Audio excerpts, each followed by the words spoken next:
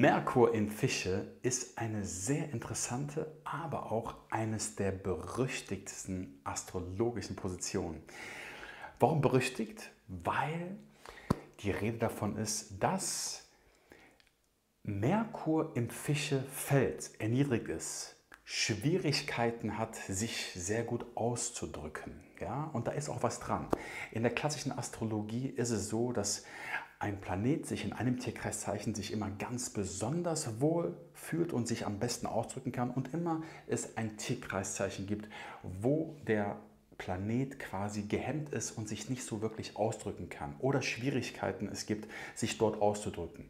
Im Merkur-Fall kann sich der Merkur am besten im Tierkreiszeichen der Jungfrau ausdrücken. Das war das letzte Video, was ich veröffentlicht habe. Und ähm, dort am besten Ausdruck bekommen. Und jetzt wie in diesem Video ich dir erklären werde, im Tierkreiszeichen der Fische am schwierigsten sich ausdrücken kann.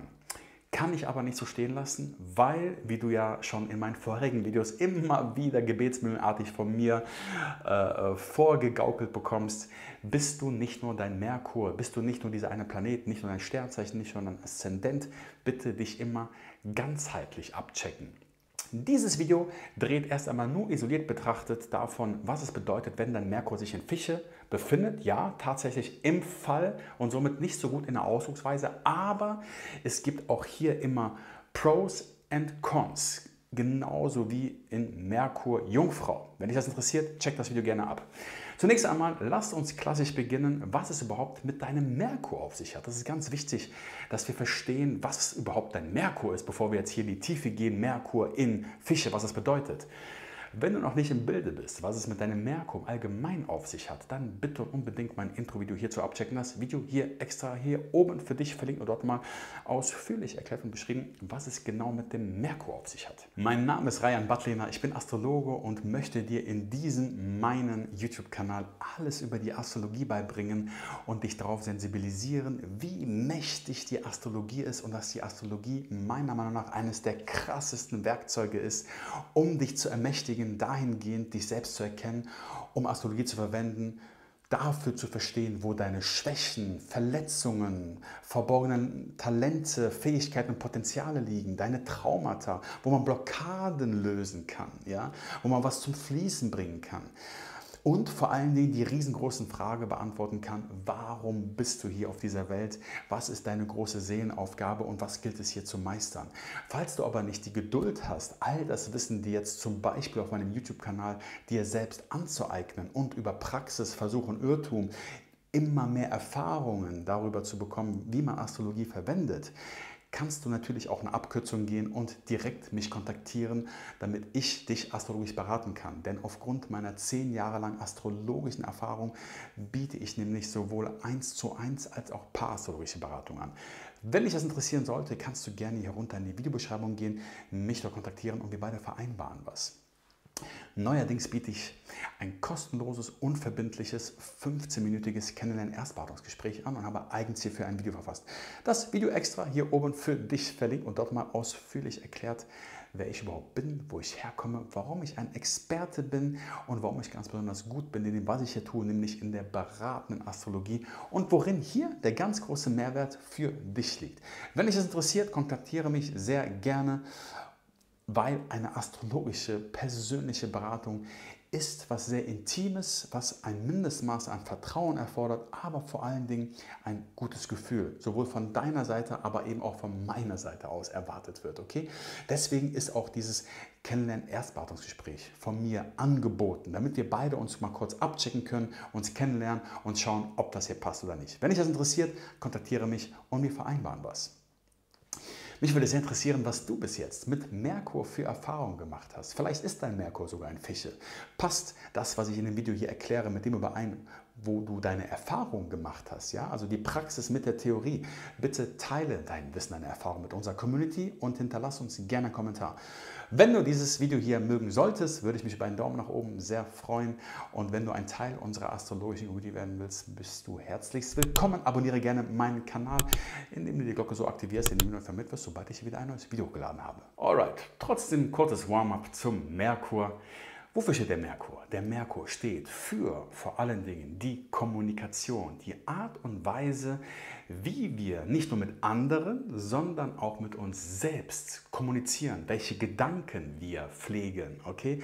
Wie wir denken, die Art und Weise, wie wir Informationen aufnehmen, wie wir Dinge intellektualisieren, analysieren, strukturieren, ordnen, okay? Der Merkur ist ein sehr nüchterner, sachlicher Planet und ähm, möchte sehr stark deinem Willen dienen und somit deinem Ego und ist quasi Sprechrohr deines Egos und hat sehr viel damit zu tun, was wir wollen ja, und möchten das eben auch an, ein, an unserer Umwelt kommunizieren. Ja? So in etwa zu verstehen. Also Merkur, Kommunikation, die Art und Weise, wie wir Informationen verarbeiten, also wie wir lernen, wie wir ein neues Thema lernen, wie wir aber auch Dinge analysieren, die Art und Weise, wie wir Dinge strukturieren, analysieren, zuordnen ähm, und alles, was damit zu tun hat, um etwas realistisch, logisch mm, zuordnen zu können, zu verstehen, um eben zu überleben. Ganz wichtig.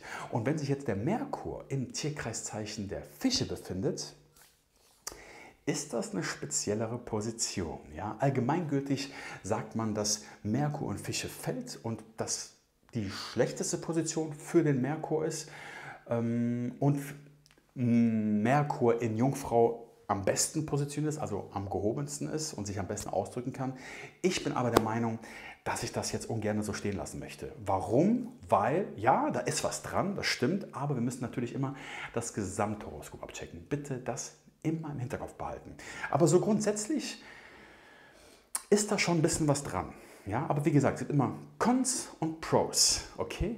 Fangen wir mal erst klassisch an, was überhaupt das Tierkreiszeichen Fische bedeutet. Für was steht Fische überhaupt? Okay? Ich habe dir gerade Merkur erklärt und jetzt befindet sich Merkur im Tierkreiszeichen der Fische. Merkur, der Planet der Logik, des Verstandes, im Tierkreiszeichen der Fische. Fische steht für Spiritualität, für Mitgefühl, für Empathie, für die Fantasie, für die Inspiration, ja, für die Künstlerwelt, für Magie, für die feinstoffliche Welt für auch die verborgenen großen Feinde, auch symbolisch dafür. Das Fischeprinzip ist quasi das, also das Tierkreiszeichen der Fische ist das letzte aller Tierkreiszeichen und da verschmilzt alles. Ja? Also das Tierkreiszeichen der Fische hat sehr viel mit Alleinheit zu tun, mit der Verbindung zur Schöpferkraft. Ja? Und ähm, der Herrscherplanet der Fische ist zum Beispiel, also es sind zwei, Neptun und Jupiter. Neptun sorgt sehr viel für dieses Diffuse, für, für ähm, das Nicht-Greifbare. Alles wird so, das ist so, so, ein, so ein Nebelplanet, kann man sich vorstellen. Ja? Es vernebelt alles und ist dafür verantwortlich, dass irgendwie die Dinge nicht so betrachtet werden, wie sie wirklich eigentlich sind. Ja? Oder ähm, stellt Realität in Frage. Was ist Realität? Hat sehr viel mit der Traumwelt zu tun. Ne? Und Jupiter hat mit Expansion zu tun und mit Glaube, Weisheit und äh, mit, den, mit den hohen Fragen des Lebens zu tun. Und das gepaart, also Jupiter und Neptun gepaart, hat eben sehr viel mit der Göttlichkeit, mit der Schöpfung zu tun, die Verbindung dazu aufzunehmen. Aber das auf einer sehr irrationalen Ebene, das können wir nicht greifen. Fischeprinzip hat viel mit Seele zu tun, mit der Thematik der Seele, des Geistes, mit der Thematik, mit den Themen, die wir logisch nicht greifen können. Ja?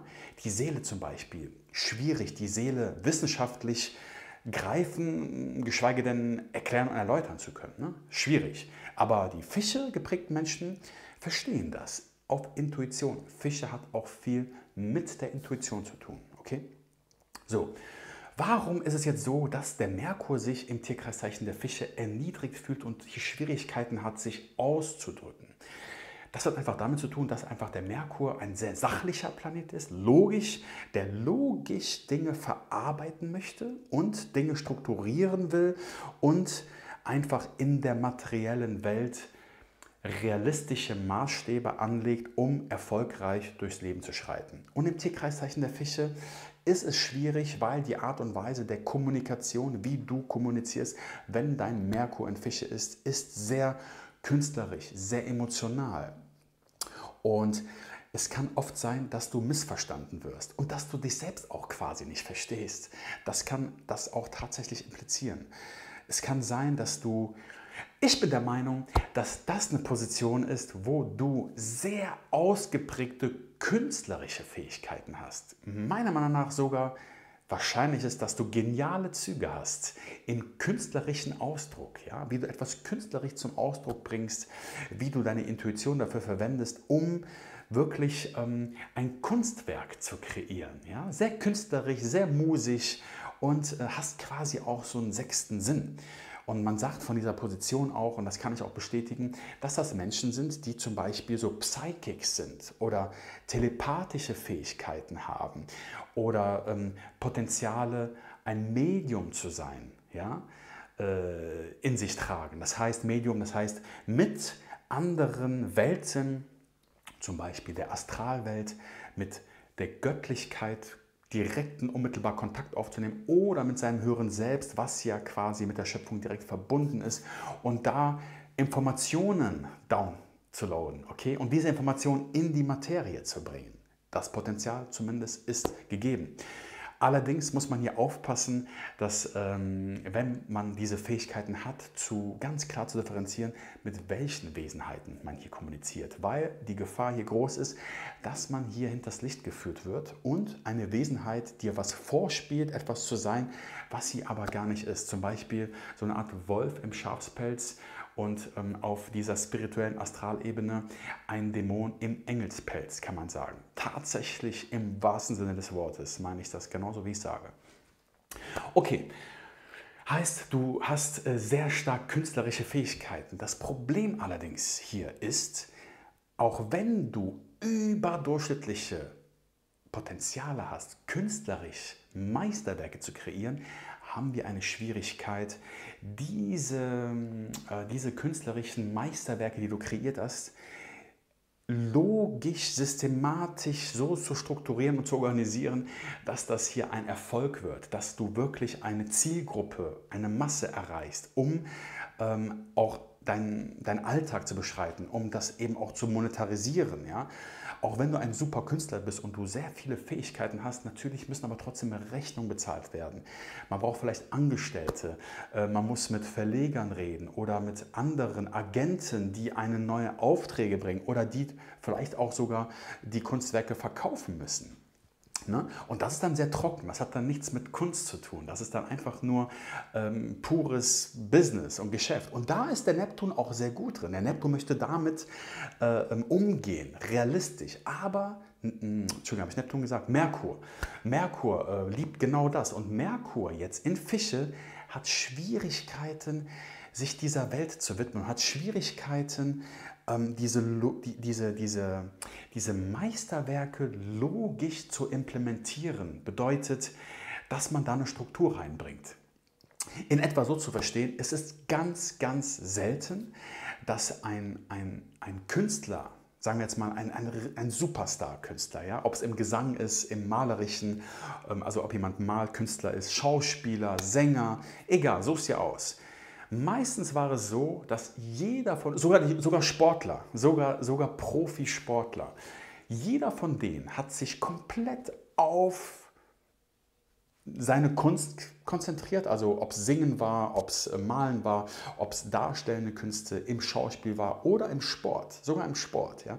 Sport kann man ja auch kreativ sein.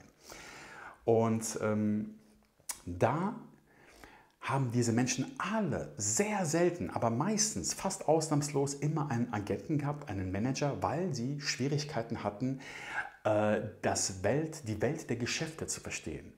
Ihre Fähigkeiten dort zu monetarisieren, gleichzeitig künstlerisch tätig zu sein, ja, und aber auch gleichzeitig parallel das Kunstwerk, was man kreiert, äh, in den unterschiedlichsten künstlerischen Bereichen zu managen zu managen, zu supporten, ähm, einzubringen, eine ähm, Struktur da reinzubringen. Und da braucht man meistens einen Manager, einen Agenten, ähm, jemanden, der eben die Organisations strukturiert, also die Organisation, organisatorischen Arbeiten macht. Alles strukturiert, alles ähm, so ordnet und strukturiert, dass das Sinn macht und dass am Ende ein Outcome kommt. Ja? So dass man, dass man das Kunstwerk oder die künstlerisch sehr stark ausgeprägten Fähigkeiten von Menschen mit Merkur in Fische monetarisieren kann. Ja?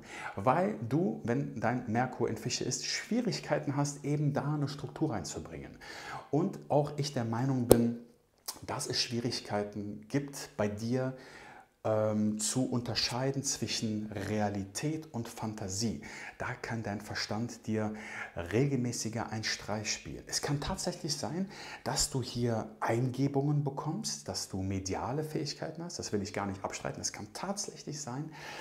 Ähm, aber es, es kann sein, dass die Signale manchmal so diffus sind, dass man sie falsch zuordnet, weil man Schwierigkeiten hat, wirklich was beim Namen zu nennen. Was hat jetzt mit mir kommuniziert? Welche Wesenheit? Was war das jetzt genau? Schwierig in dieser Welt konkret das zu strukturieren, zu analysieren. Aber es gibt gute Aspekte von anderen Planeten, die eine Struktur da reinbringen, wie von einem Saturn zum Beispiel. Ja? Wenn es sehr wohlwollende Aspekte gibt, zu deinem ähm, Merkur von einem Saturn gibt, dann sieht das zum Beispiel wieder anders aus, okay? Ja, oder es gibt andere astrologische Aspekte, die einfach helfen, dass dein Merkur und Fische sehr supported wird. Bei Merkur und Fische wird meistens das Beispiel genannt von Albert Einstein, der diese Position hatte. Und man sagt, ja, siehst du, Einstein hat es ja geschafft quasi äh, im Leben. Und wenn, wenn, es, wenn es einen Menschen gibt, der analytisch, clever, intelligent Dinge strukturieren kann, dann ist es doch ein Einstein. Da ist was dran, das stimmt. Und tatsächlich hat er auch Eingebung gehabt. Ja? Also ähm, ähm ist, man hat ihn interviewt und diese Interviews wurden überliefert, also ne, man hat das dokumentiert und es gab Überlieferungen und die haben gesagt, dass ein Albert Einstein zum Beispiel, was ähm, zu, seinem, zu dem Durchbruch der Relativitätstheorie geführt hat, hat er gesagt, was ihm, was er benötigt hatte, um diese Relativitätstheorie niederzuschreiben, war die Vorstellung, auf einem Lichtstrahl zu reiten, weil die Komponente der Lichtgeschwindigkeit hier sehr wichtig gewesen ist. Und er musste sich das vorstellen. Aber unabhängig auch davon hat er regelmäßig davon geredet, dass er ähm, sich Dinge vorstellen musste ja, und dass er Eingebung hatte. Ganz interessant. Ne?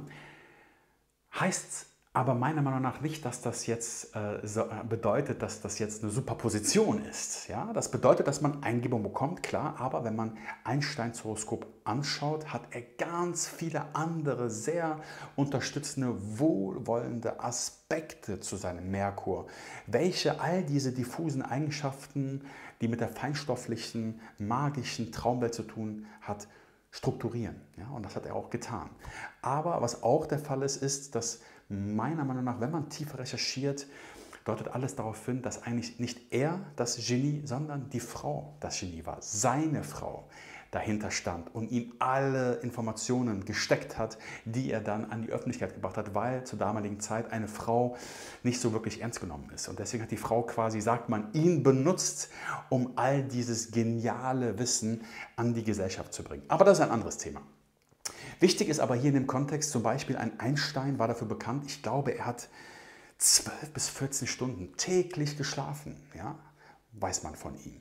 Und das hat tatsächlich auch mit Merkur in Fische zu tun. Ja?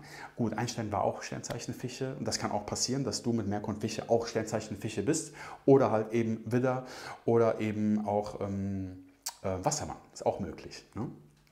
Aber grundsätzlich kann das bedeuten, dass du sehr viel oder eine sehr krasse Traumwelt hast und du zum Beispiel auch ne, sehr lange schläfst, eine sehr lebendige Traumwelt hast. Die Traumwelt ist so real, so lebendig, dass du glaubst, dass das real ist oder dass du in Frage stellst, was ist überhaupt real? Und das ist tatsächlich eine berechtigte Frage.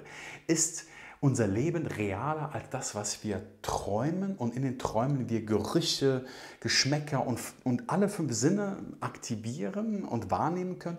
Was ist jetzt real? Was ist real? Was ist Fantasie? Das ist jetzt die Frage kann ich ja nicht beantworten, aber es ist eine berechtigte Frage.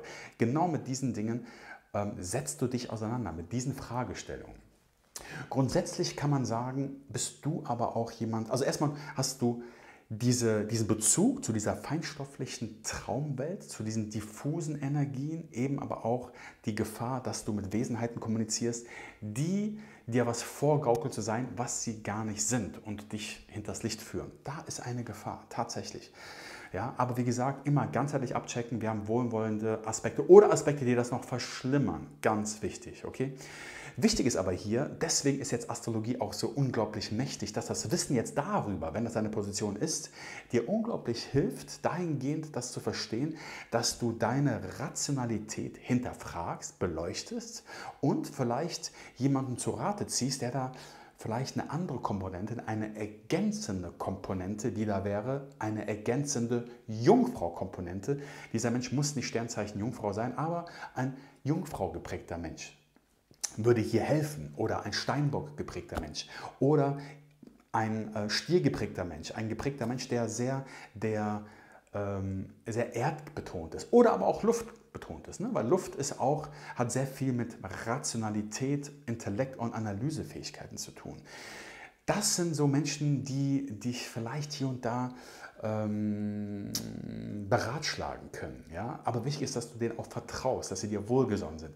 Deswegen ist das so wichtig. Oder du verstehst das und arbeitest daran und schaffst aufgrund des von dir jetzt angeeigneten astrologischen Wissens auf die Position Merkur in Fische gewisse Eigenschaften zu entwickeln, die dir helfen in der Kommunikation. Ja? Weil du hast eben auch hier Pros. Deine Pros sind, wie gesagt, sehr künstlerischer Natur oder aber auch sehr empathischer Natur. Meiner Meinung nach ist die Wahrscheinlichkeit sehr groß, dass du intuitiv einfach Dinge erahnst, erspürst und du auch oft recht hast. Und wenn man dich aber fragt, ey, sag mal, wie bist du jetzt darauf gekommen? Woher wusstest du das, dass das, dass das jetzt passieren wird? Ja?